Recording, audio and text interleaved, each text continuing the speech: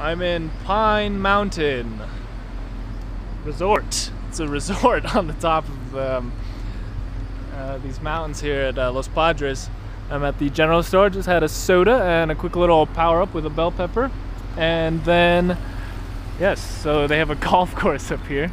It's kind of a um, fancy pants area. All the LA people have homes here, I think. But apparently, there's a good mix of people here. So, and I met an awesome guy. Uh, he's an English major, so he was automatically very cool.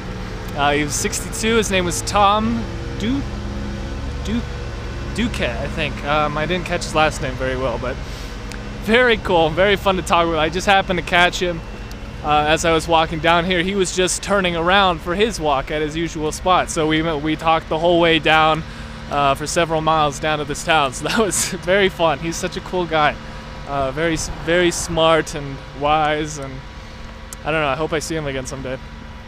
He hugged me, which is awesome. Tom, if you're watching this, hi. I'm off. This way, I think, towards Frazier Park. All right, I'll see you out there. Bye.